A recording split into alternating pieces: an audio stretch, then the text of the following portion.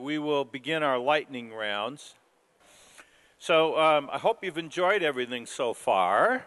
If so, how about a round of applause for all of our faculty and staff? So the lightning presentations, the lightning round presentations that um, we're going to do right now are modeled after the style of uh, the uh, TED Talk, or sometimes you may have heard the term Ignite presentations.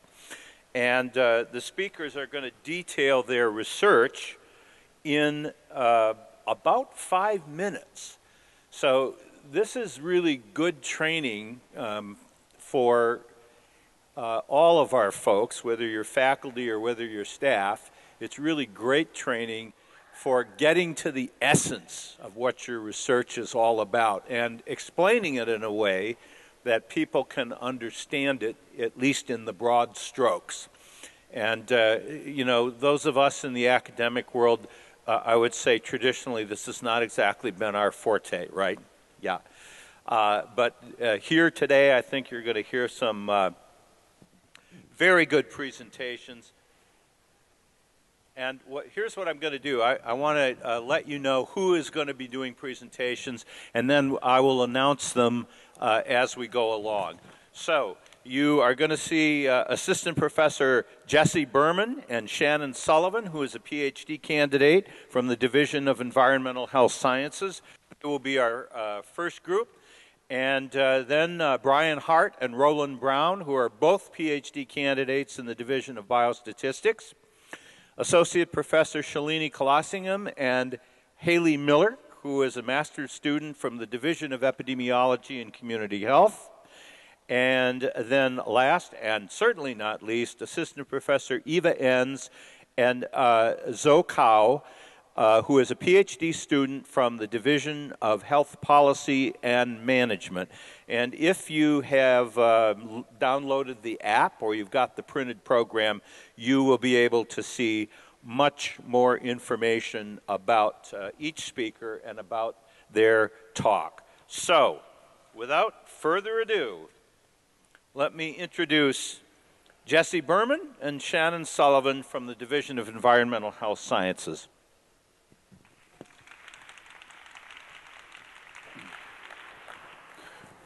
All right, thank you very much. I'm uh, excited to have the opportunity to present here for Research Day and speak about some of my work on extreme weather and uh, the impact on human health, in particular my work on drought and health risks in older U.S. adults.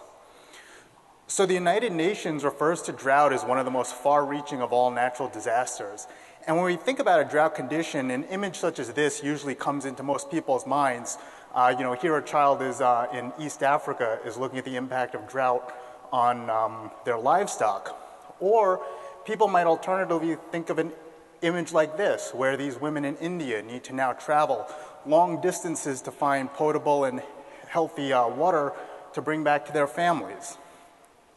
But far less frequently do we think of images such as this. And here's a farmer here in the United States dealing with the drought of uh, Texas in 2011, and we don't think about the impacts of people here in the developed world and how it might impact individuals as well as the communities around them. So one of the things about drought is really this equal opportunity natural disaster. It impacts every single place in the world. And uh, just as some examples, in 2011, 2012, there was a drought that covered almost 66% of the continental US and impacted just about 150 million people. And the drought in California, which was the recent event, um, that was the most severe event in the last 1,200 years. So these are really very severe, major um, events that impact very large geographic areas. But despite this, there's almost a total lack of research on drought-related health effects. So why is this so? One of the things is that drought exposure is really complex to define. If we were talking about a heat wave, we might say, well, when did one start? Or when did one end? And you can go pick up a thermometer and tell me the answer. But if we said, well, when did a drought start? Or when was a drought most severe? These are far more complex questions to answer. In addition, there's over 100 different metrics for drought. This is an example of just three measures across the same time frame in 2017. And you can see that even though they look similar, there are differences in terms of both uh, severity as well as geographic extent. On that same note, there's multiple health outcomes that can possibly be caused by drought exposure. We can consider things such as cardiovascular effects from increased dust. We consider respiratory impacts from changes in pollen and fungi uh, concentrations and spores in the air, as well as the impact of mental health effects, this natural disaster that really impacts communities and people's livelihoods and the impact that this will have on individuals. Finally, drought's really associated with a lot of potential confounders. This is a dust storm in uh, Phoenix, Arizona in 2011, and there's you know, increased prevalence of events such as these and wildfires due to uh, droughts. So my research uh, that I've done is really focused on the epidemiological investigation of how drought impacts uh, health. And we did a large study in the western U.S., uh, 14 years in 22 states uh, west of the Mississippi River and we examined cardiovascular and respiratory related hospital admissions as well as total deaths uh, in the country. And we used a two stage model to really estimate the risk of a health outcome during a drought compared to non drought condition. So, what were the major findings of this? Just as a real nitty gritty, we found that during high severity worsening drought periods, there was a statistically significant increase in all cause mortalities due to drought exposure. At the same time, there was a significant decrease in the number of respiratory admissions during a full drought compared to a non drought period. And while we didn't see any effect with a uh, statistically significant effect with cardiovascular admissions, we saw this strong trend of increasing hospitalizations during um, as drought conditions got more severe. And furthermore, we found that in areas that don't experience frequent droughts, places like Minnesota, when a drought event does occur, the risk estimates for those areas were far greater than areas where droughts of more frequent occurrence, such as Arizona or Texas. So, what are the major implications of this? Number one, this work really demonstrated that there are measurable and previously unidentified adverse health effects from drought exposure. And we know that under future climate change scenarios, we anticipate increased severity and duration of drought events. So this isn't a problem that's going away. This is something which is going to become, you know, more prevalent and more common in the future. I think there's a lot of great future research opportunities in this field, namely to look at other health outcomes, the most important one being mental health, but also how vector-borne disease like tick populations might be impacted by changes of drought, as well as different cardiovascular disease types. In addition, we want to really look at how disparities in population variability in health effects really occur when you have these drought exposures in such vast different geographic areas. So this is work that I'm really excited about. I think there's a lot of opportunity here, and uh, you know, I'm looking forward to spending my time here to look into some of this other stuff.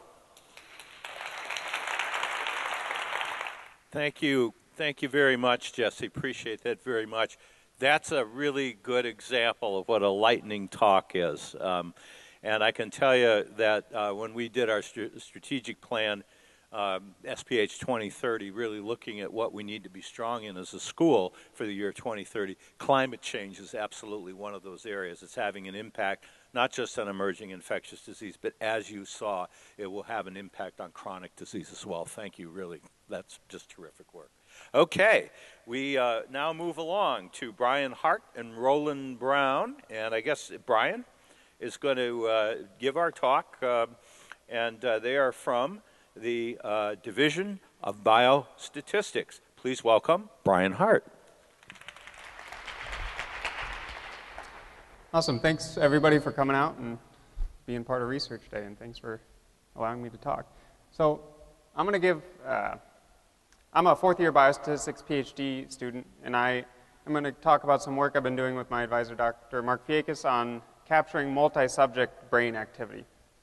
So, recently in the neuroimaging world, there's been uh, a large set of many times publicly available data sets. So, that are looking at specific diseases that we understand have some sort of neurological component, but we are trying to better understand what's going on inside the brain both structurally and functionally. So, for an example, we have the ADNI, which is looking at Alzheimer's disease. There's a large database looking at Parkinson's disease, and then also looking at conditions such as autism, but also just trying to understand what does normal cognitive development look like when you're looking at the structure and the activity of the brain. So each of these is collecting many different types of neuroimaging. There's all sorts of acronyms, fMRI, MRI, DTI, EEG. These are all sort of technologies that are looking at what does the structure of the brain look like as people progress through a disease or through a health state or as people are just naturally um, going through adolescence or aging. And um, so each of these data sets has a specific question, and we want to better understand the underlying processes of these data sets to help better understand the disease, to help us improve treatment and diagnosis of each of these conditions. And to take full advantage of these data sets, which have potentially hundreds or thousands of subjects, we need better statistical methodologies to sort of harness the full power of the data. So specifically, my work, my most recent work has been on electroencephalography or EEG data. And many of you have probably seen a picture of somebody getting an EEG. You put on the skull cap, and there's electrodes placed all over their head. And at each electrode, what it's doing is it's measuring the electrical activity at that location on the skull to try to get at the activity of the brain at that location. So we have this, this EEG data recorded, and what we're doing is we're estimating what's known as the power spectrum. So the technical definition is here it's a smooth curve that shows a proportion of the total variance of a time series, or EEG recording, that can be explained by waveforms at each frequency. So, what the heck does that mean? I have two examples of what you might get out of an EEG recording here, and then there, the power spectra from those recordings. So, the top one you can see sort of a slower moving wave. It has this sort of slow up and down movement that's dominated by it's called low frequency. So, you see the, the peak in that spectral density on the right is sort of off in the left low frequency area. Likewise, the, um, the bottom EEG recording has lots of rapid back and forth movement. That's called high frequency signal. And its associated power spectra has this peak up on the far right side. So these power spectra are telling us something about the underlying EEG recordings, the, the brain activity that's going on in each subject. So this is sort of our goal metric to analyze from each of these subjects. And the data that we're working on is a large twin study that's um, been collected here at Minnesota. So what's really nice about the Minnesota Twin Family Study and twin studies in general is that you know uh, monozygotic or identical twins share 100% of their genetic material, and dizygotic or fraternal twins share 50% of their genetic material on average. So you can look at the difference there and to help you better understand how much of the differences between people or the variation in a trait can be explained by their genetic material. And that's what's known as heritability. So we are looking here as a first step in this analysis of these. So there's about 1,100 twins in this study, and we want to understand of these power spectra curves, how much of the differences between subjects can be explained by their genetic material. And we've run this analysis, and it turns out that 65% of the differences between subjects is, uh, can be explained by genetics. So it's clear that the, the brain signals, the collect, as collected by the EEG machine, there is some sort of genetic component to the activity of the brain. So this has been sort of the first step in this analysis. But as I referenced earlier, there's a lot of uh, sort of this is an adolescent cohort, so we'd like to understand things like what is sort of how does this change across time, cognitive development, and many of these. There's also behavioral and psychological data collected on this. So we'd like to understand how both the genetic component and uh, of the, the neuroimaging or neurological component are interacting with conditions such as substance abuse or depression or any other uh, mental health condition that has been collected in this data set. Thank you all. And uh, why that is important is that I think the brain, as far as human organs are concerned, is the last frontier that we really don't understand very, very well. But this is great because this is really starting to help us understand what the parameters are, and then presumably gives us a sort of a biologic baseline that we'll be able to see how this, you know, uh, changes happen over time when we're talking about Alzheimer's or dementia or, or substance abuse. So thank you so much for that. I really appreciate it. All right, and we now move to our third presentation, and uh, it is my uh, pleasure uh, to introduce Associate Professor Shalini Kulasingam in the Division of Epidemiology and Community health. And uh, this is research that uh, uh, Professor Kulasingam and Haley Miller have done together. Please welcome Shalini Kulasingam. Thank you. So, um, as Dean Finnegan said, I'm Shalini Kulasingam. I'm in the Division of Epidemiology and Community Health, and today I'm going to be talking to you about the human papillomavirus, or HPV vaccine. HPV is a sexually transmitted virus that causes cancer and genital warts. Genital warts are cauliflower like growths that occur in the genital region. So, despite this pretty picture of the virus, this is one of the bad guys. In 2001, I was working on my dissertation with Professor Laura Koutsky from the University of Washington.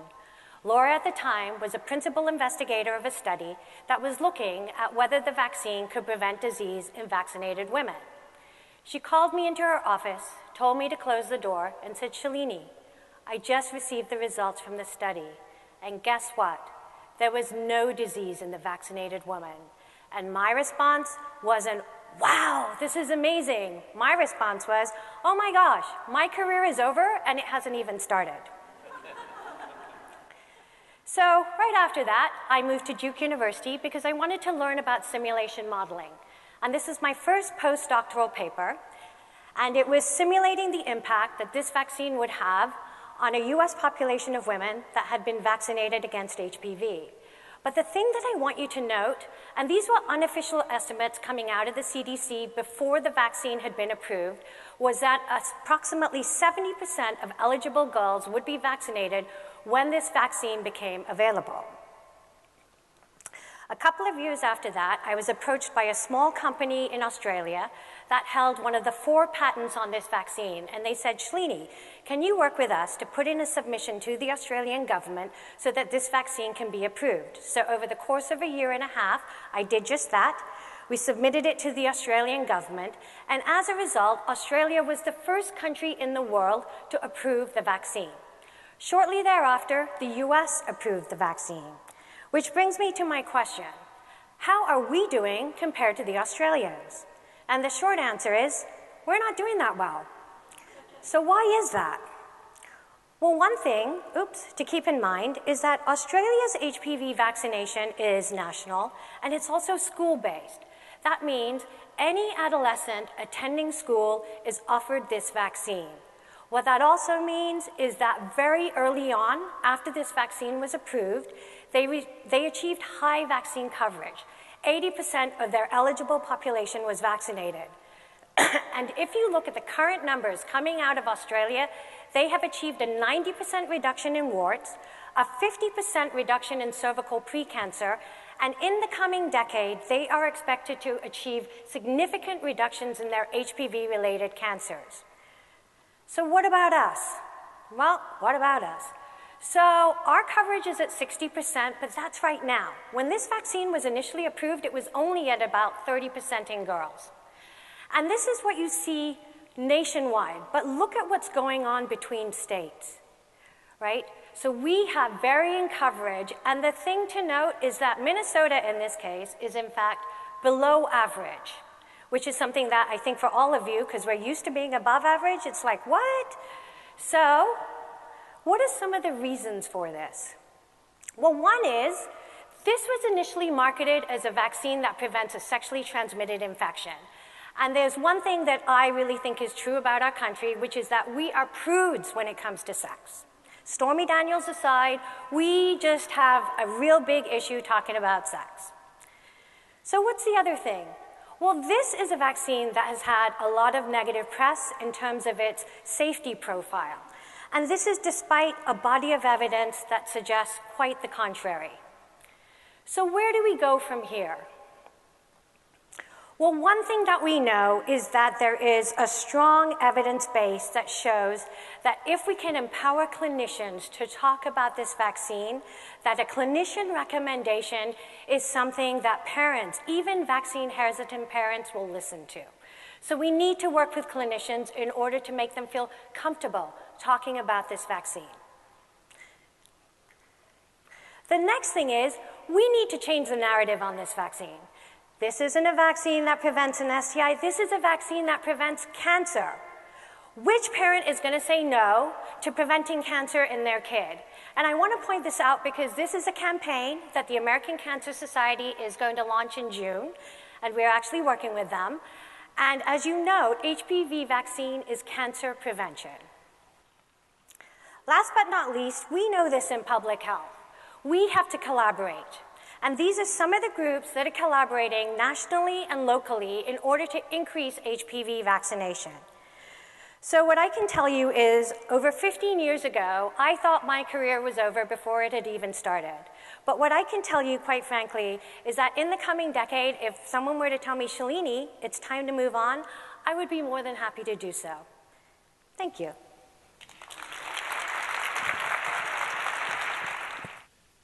You know, it, this just is fascinates me about public health challenges because it's not just about having the technology like a vaccine. You've also got to have the public policy. You've also got to have the education and the communication. So you can have all the good technology in the world, but if people don't use it, then Minnesota ends up being below average. Uh, it's just really shocking. And you've got to have systems in place as well. This is just terrific research. Thank you very much, Shalini. All right, and we come to our final uh, lightning round. Um, this is uh, research uh, done by uh, Professor, Assistant Professor Eva Enns and Zoe Kao, a PhD student from the Division of Health Policy and Management. And Zoe, I think you are? No? Oh, I'm sorry. Oh, Roland. Okay. I, I, my big apology. okay, so Roland is a PhD candidate in the Division of Biostatistics, and you're on.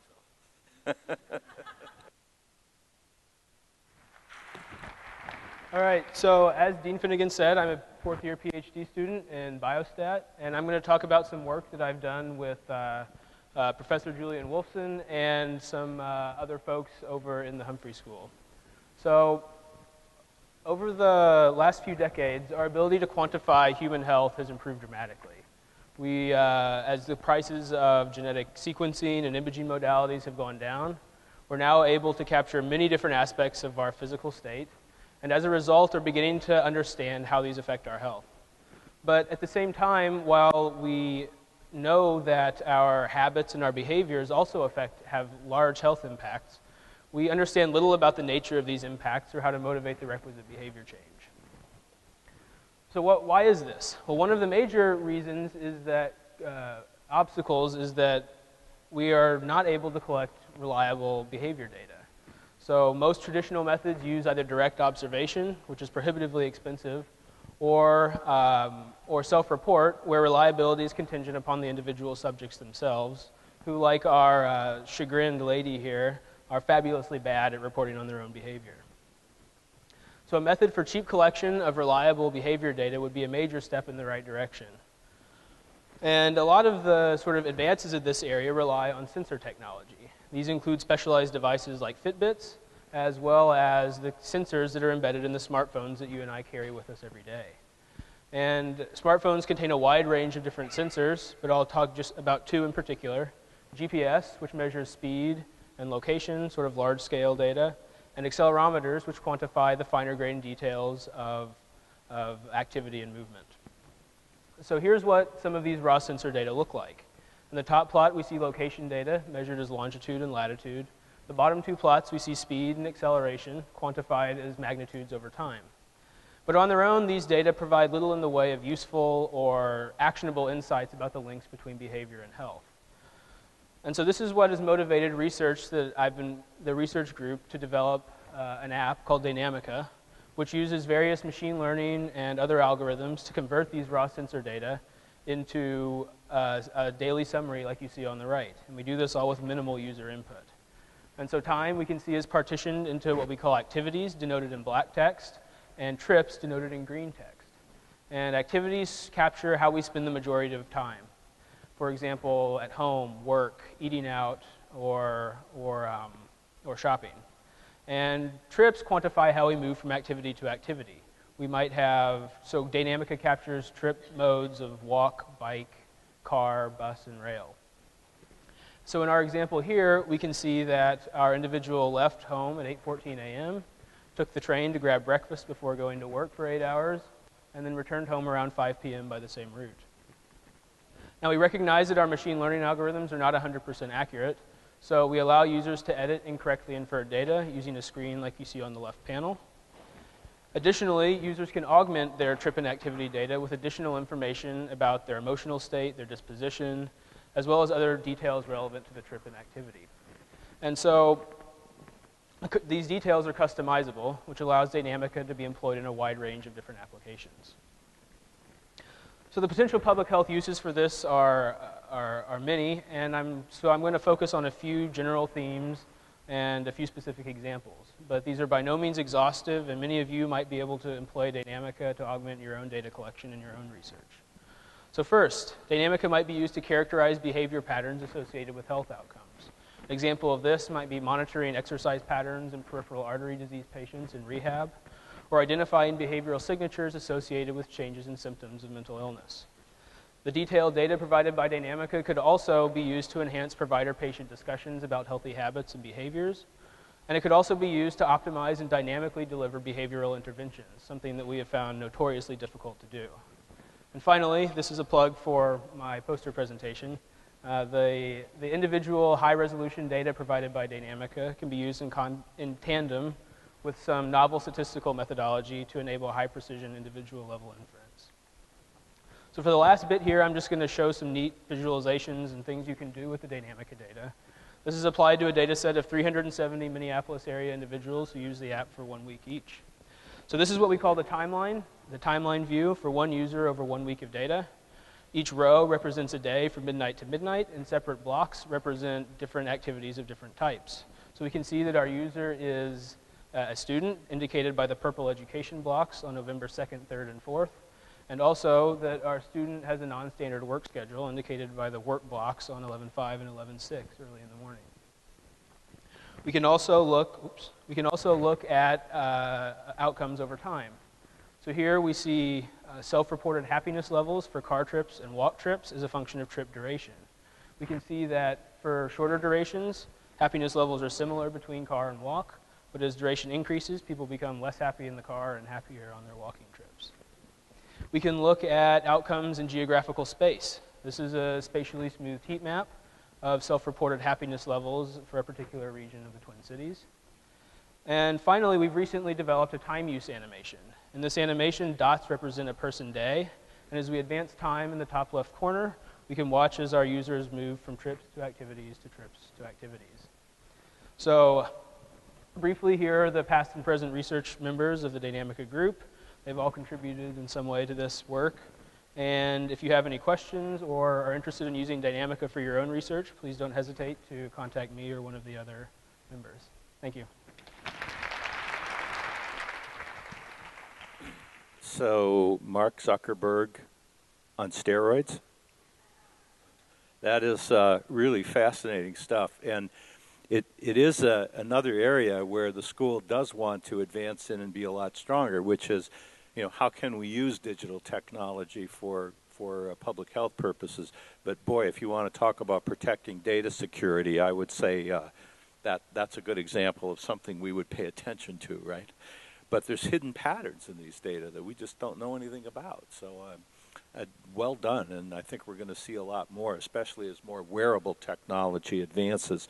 It is now my pleasure to present Assistant Professor Eva Enns, and um, uh, from the Division of Health Policy and Management. And is this research that you've done with Zhou as well? Please welcome Eva Enns. Thank you, Dean fin- Finnegan. Um, so I'm going to be co-presenting with uh, Zoe Cao, who's a PhD candidate in our program in the health, uh, Division of Health Policy and Management. So networks are salient in our everyday lives. Um, social and professional networking sites have made our networks more visible and allowed people to capitalize on their social circles and the social circles of others. We've also become more aware of the impact that networks have on our everyday lives. So we've seen the influence that our social networks have on our habits and lifestyle choices, our uh, chances of getting the flu and our chances of finding a job. So we're really reminded on a daily basis that we live in a connected world. Networks, in their essence, describe interactions. Formally, a network model consists of a population of individuals and connections between those individuals. These connections can represent a variety of relationships. These might be uh, professional interactions, friendships, or sexual partnerships. And it's over these connections that things spread.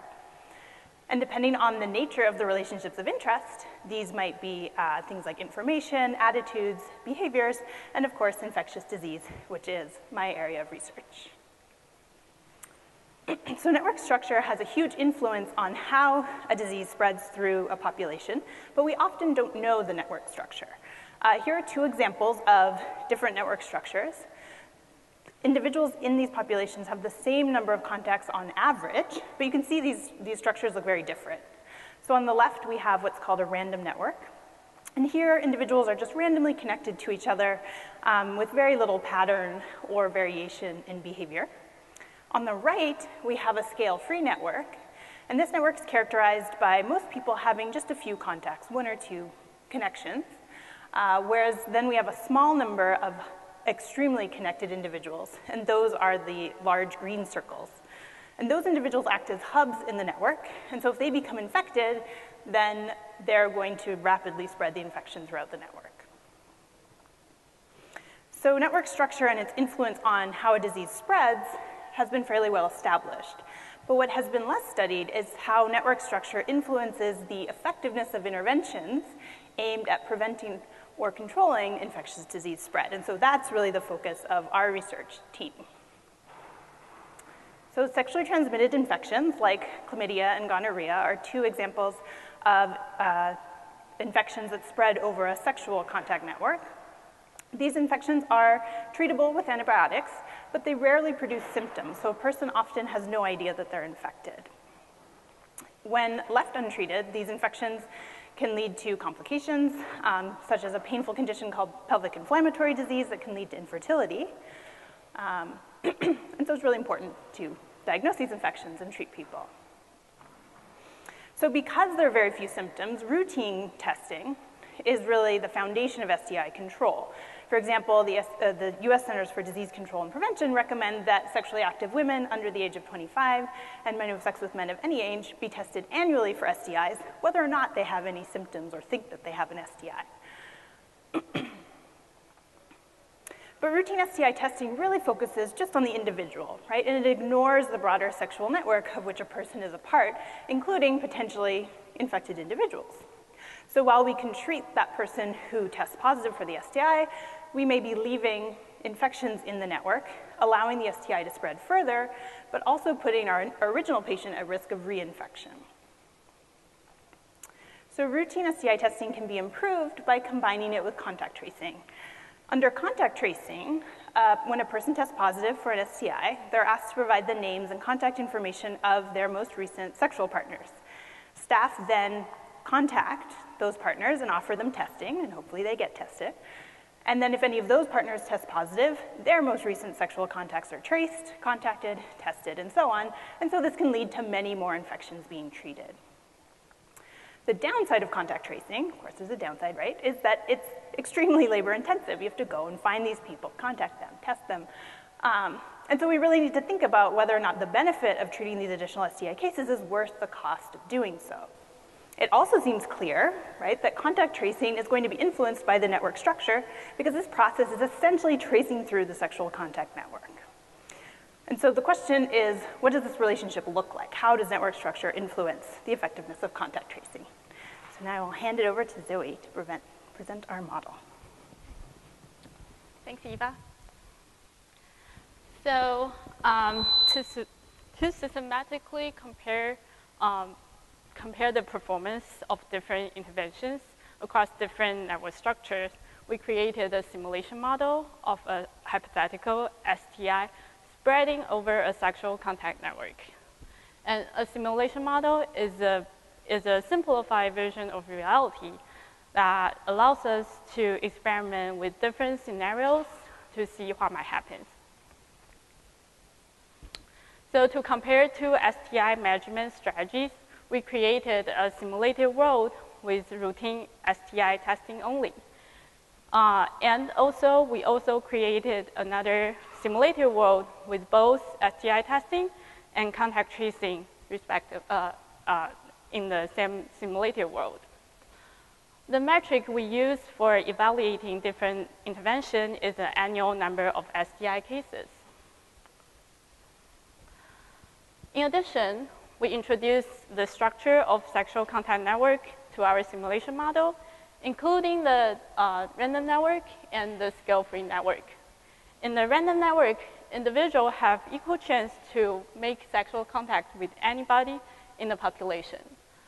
In comparison, in the scale-free network, uh, there are some hubs, which means that individuals have higher number of sexual partners compared to the rest of the population. Therefore, we expect that these hubs will facilitate STI spreading over the scale-free network. Here is an example from, uh, from our simulation model. So as we expected, the number of uh, STI cases in the scale-free network is 61% higher than the number of cases in the random network. After introducing contact tracing uh, in the random network, contact tracing resulted in, in lower number of STI cases, reduced the cases by, by half. However, in the scale-free network, contact tracing resulted higher number of STI cases, which is counterintuitive because contact tracing should always treat more inf infection in the population compared to uh, routine STI testing only. And why is that? Uh, the key is the highly connected individuals in the scale-free network. These individuals are easily, infect are easily infected because they have many partners. And having many partners also means that uh, they are more likely to be named as a contact through contact tracing Therefore, these highly infected individuals enter into a cycle of infection, being traced, being tested, treated, only to be quickly reinfected again. This suggests that in a scale-free network, contact tracing should, should be complemented by interventions uh, aiming at reducing uh, risky sexual behaviors. So the research from our team indicates that uh, network information is very important for informing infectious disease policy. Intervention can have very different impacts on, uh, on the disease outcome depending on, uh, sorry, de depending on the, the underlying network structure. So in continuing work, we are exploring the cases where uh, optimal policy decision is different depending on the network structure. And in these cases, we can quantify the value of information and determine whether it is worth collecting more data in a population's contact network. Thank you for your attention. All right, please welcome Shannon Sullivan.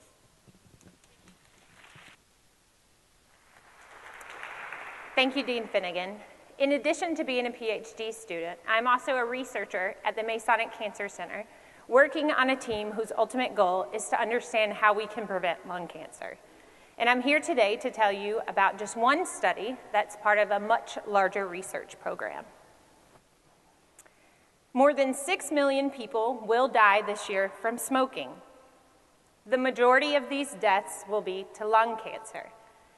And that's despite researchers making great strides in understanding how tobacco causes disease, public health professionals educating people on the harms related to tobacco use and exposure, and the implementation of policies and interventions to help reduce tobacco use.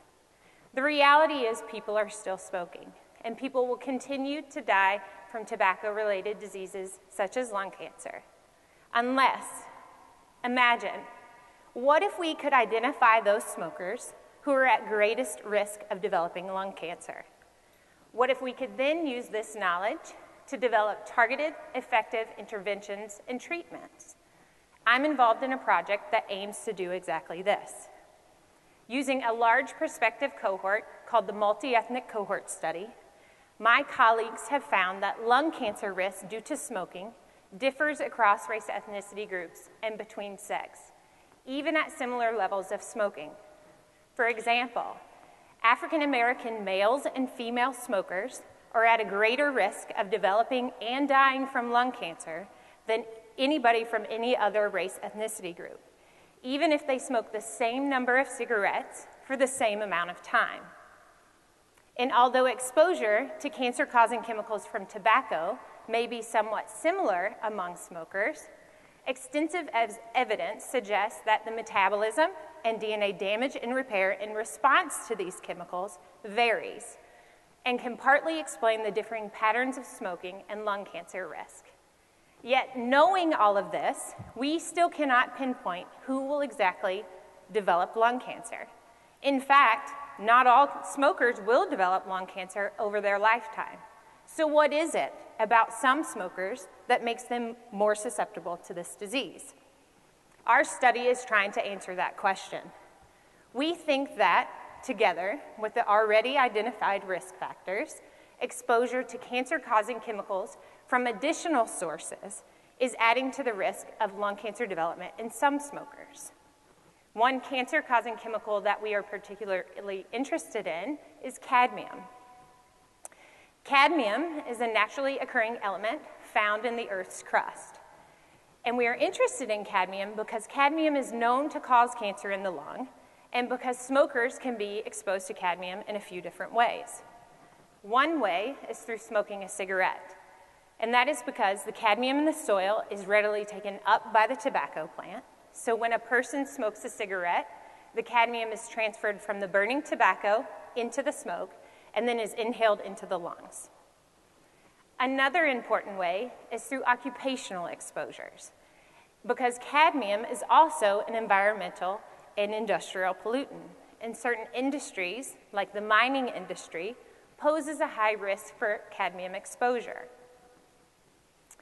It has also been suggested that certain genes might affect cadmium toxicity and may affect the amount of cadmium that is in our body and can contribute to and can uh, make people more susceptible to its toxic effects. So we know that smoking leads to cadmium exposure. We know that certain occupations expose people to cadmium. And we know that certain genes might contribute to the variation of cadmium levels in some smokers. We know how all of these factors play a role individually. What we don't know is how all these factors play a role together and affect cadmium levels in the body and lung cancer risk in smokers. So, we've designed a study using current smokers who are representative of five different ethnic groups to do this. We want to know if smokers working in certain occupations with genes that make them more susceptible to cadmium have higher levels of cadmium in their body. And then we want to develop and test an algorithm that uses all of this information and smoking history to predict lung cancer risk. Imagine if we could identify those smokers. How many people could we knock off this devastating mortality statistic? Thank you.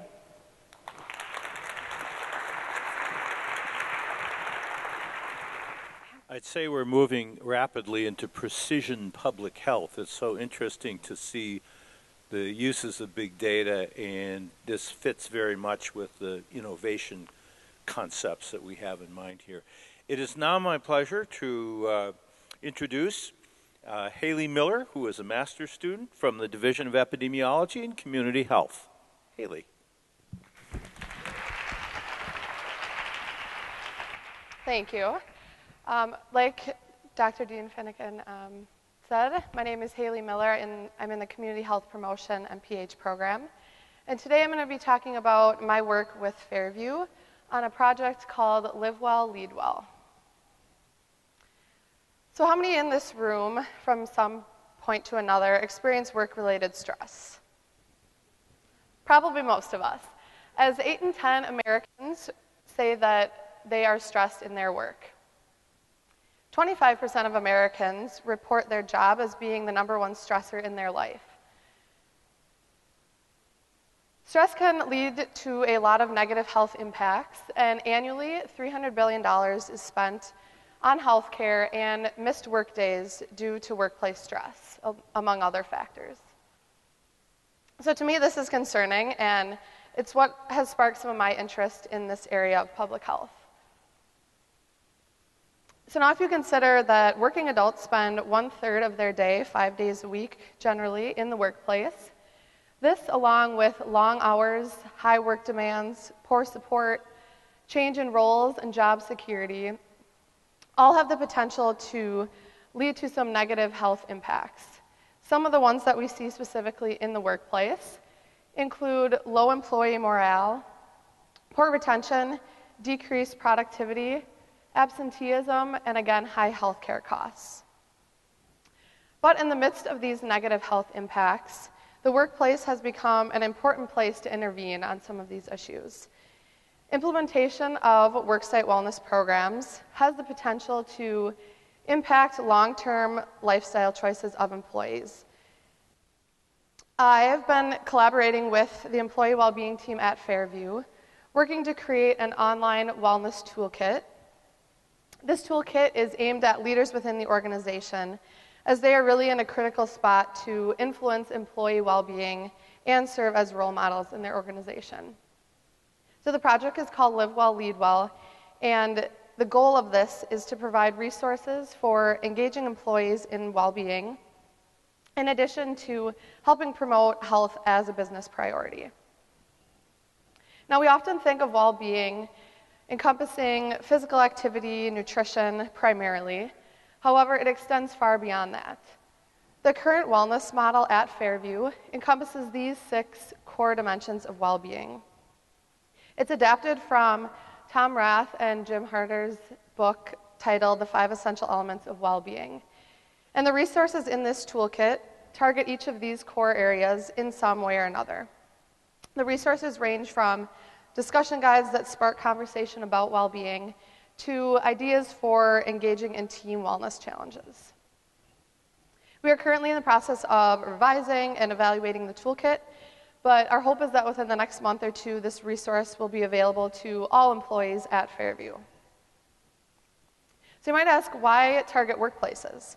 Well, organizations that have adapted some of these similar worksite wellness programs or other health initiatives have seen substantial improvements in the health outcomes of their employees and has also led to reductions in chronic disease.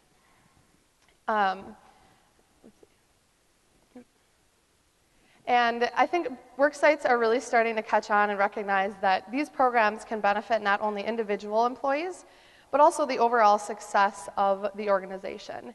And some of the health outcomes that we see include improved productivity, greater employee engagement, and again, reductions in chronic disease. And I think all of us here in our own workplaces can really have a stake in reaping these benefits.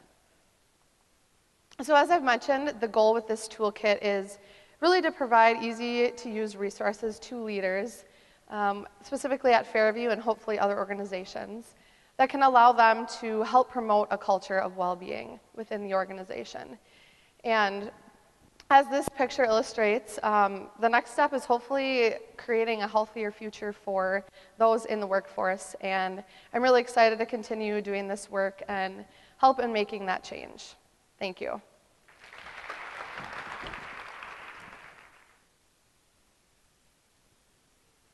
All right, thank you so much. A round of applause for all our presenters. Absolutely great work. Thank you. So um, I'm a, a, a, refugee from the uh, the analog world, right? And uh, when I started here on staff and as a junior faculty member, um, we were doing some work, working with communities to help to help them uh, develop uh, approaches to um, worksite health and wellness. And uh, I am so glad to see that that kind of work is continuing even in the digital age. And now I think we have even better tools than we had years ago. Notice I wasn't precise there. Okay, well, now we come to the really fun part of the program, and this is about our awards presentations. And I'm going to uh, ask uh, Beth uh, Virnig to come up because I think Beth, or let's see, Sarah, you coming up too? Okay, all right. We have uh, we have a lot of awards to give out here, and um, and I hope you agree.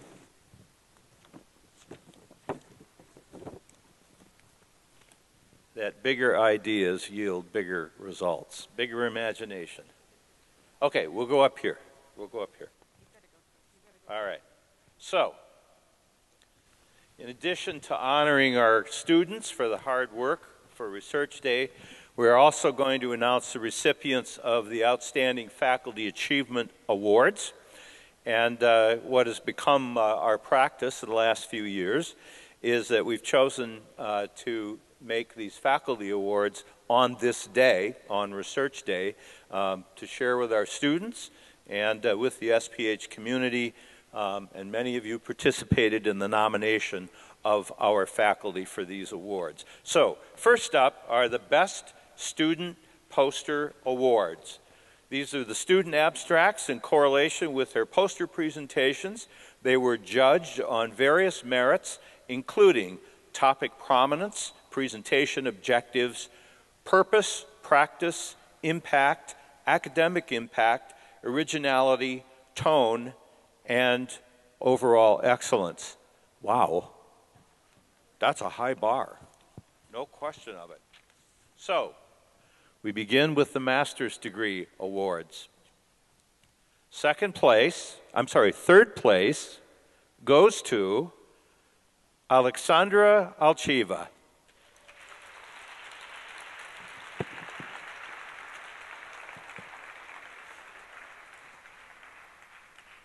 Congratulations, well done.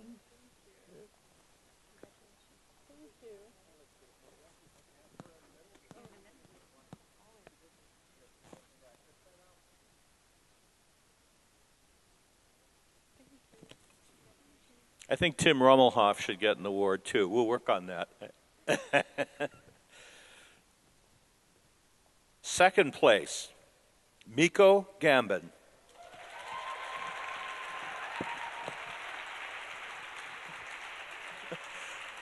I didn't know you had a fan club.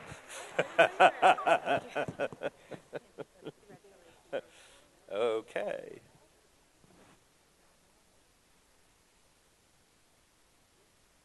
Thank you, Tim. And first place for the Master's Degree Awards, Whitney Kester.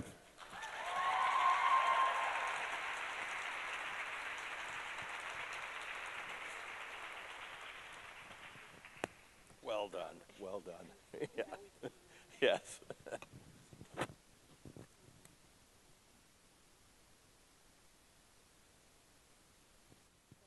Excellent. Congratulations to the Master's Degree Award winners.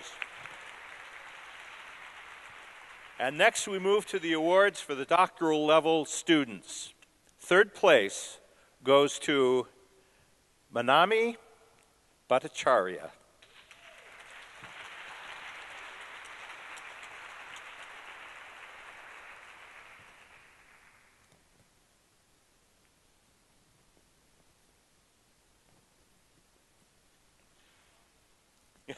Long walk, yes. Congratulations, Manami. Wonderful.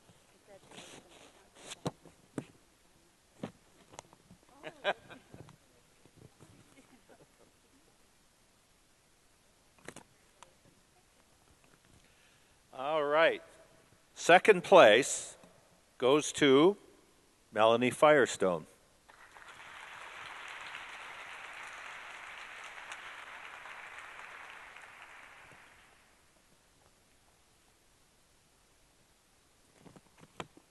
Congratulations. Nicely done.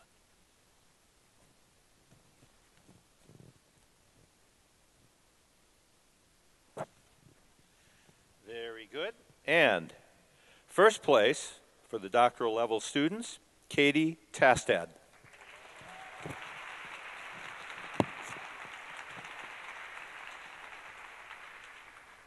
Congratulations, Katie. Yeah.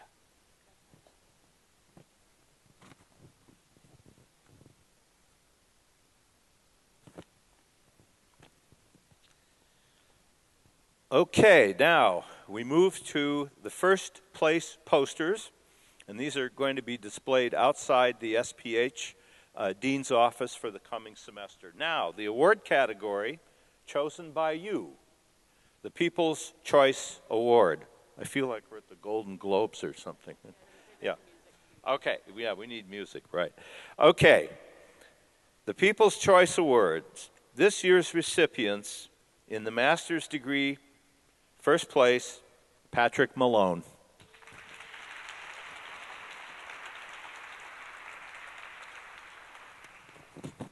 Congratulations.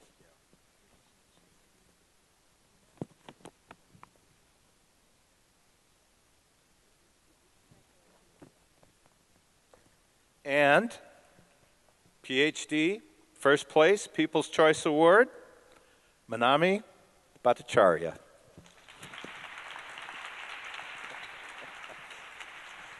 Sorry, Manami, another long walk. Congratulations.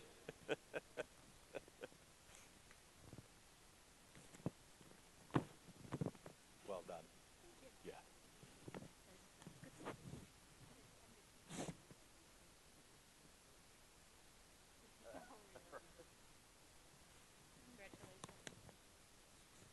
All right. A round of applause for all of our student winners. So we now move to present the Outstanding Faculty Achievement Awards. And the school, this is really important because this, this really recognizes faculty for the superb work that they do in working with students and in working uh, in the classroom as well. And while, yes, it's part of our job as faculty to do these things, in fact, these awards are going to faculty who go that extra mile, and that is really important. So, the School of Public Health Award for Excellence in Advising goes to Dr. Alan Lifson, Professor, Epidemiology and Community Health.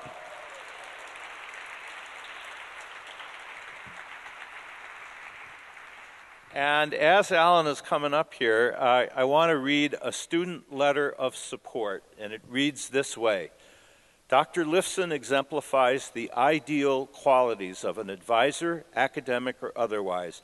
His dedication to his many students sets a high bar for other advisors at the University of Minnesota.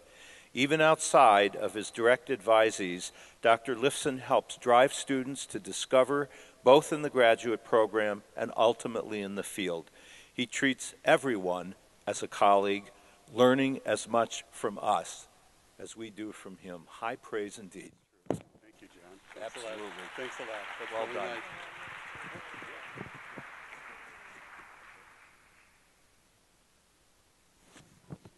Congratulations, Alan. That's terrific. Well done. The uh, highest award that uh, the school has to honor the teaching of our faculty is the Leonard M. Schuman Award for Excellence in Teaching. And um, I think some of you that are my age or a little younger or a little older certainly remember uh, Leonard Schuman. He was an amazing epidemiologist, uh, an unusual epidemiologist because he worked both on the chronic disease side of epi as well as on the infectious disease side. And you don't see that much anymore. We've specialized a great deal more. But people who took Leonard Schuman's courses uh, know what teaching excellence is all about. He was an amazing man. And so we named this award uh, after Leonard to honor uh, his work. And by the way, in case you don't know, a little piece of history uh, Leonard was the leader in establishing the PhD program in epidemiology in this school, which was the first PhD program in epi in the United States. So, uh, This is really significant. So, the Leonard M. Schuman Award for Excellence in Teaching is awarded to Dr. Ruby Nguyen.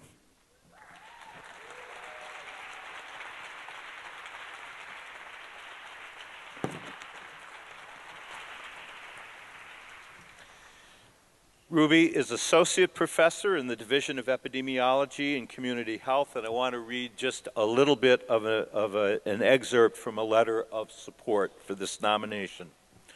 Dr. Nguyen's tireless instruction and endless patience made my career possible. Teaching isn't just something that she excels at, it's something that defines her and it makes her one of the most effective teachers I have ever had the pleasure to learn from. Congratulations to Ruby Nguyen. Well done.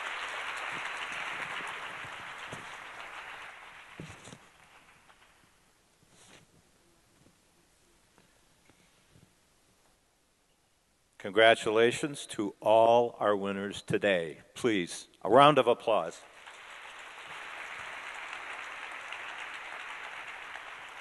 So I want to thank all of you for, for joining us today. Um, this is a, a, slightly different format from what we've had in the past. Uh, I think it's pretty successful. I hope you do. And as always, we uh, want to get your input. And I'm also sure that the presentations that you heard today in the lightning round and perhaps in some of the poster sessions have sparked a lot of questions. So I invite you to stay a bit. Excuse me? I intend to. Yeah, thank you. Yeah, that's on my list.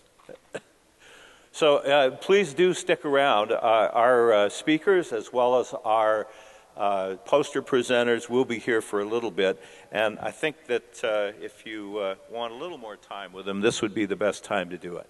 And finally, no event like this is possible without the help of quite a number of our staff and I'm very appreciative of all of the work that our staff have put into this. But especially, I am appreciative of the work of Anisha Tucker, without which we would not have had this great event.